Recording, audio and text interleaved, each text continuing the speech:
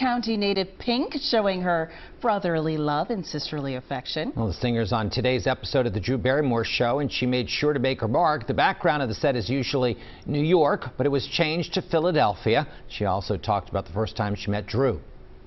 We were, I was sitting on Melrose Avenue on the concrete outside of a hair salon waiting for the bleach to kick in. And Drew walks by.